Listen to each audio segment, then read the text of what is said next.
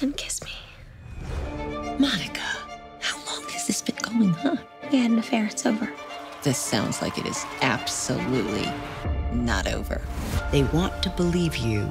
We just need to help them along. She was thinking maybe I could do some TV appearances. I would not advise going on TV.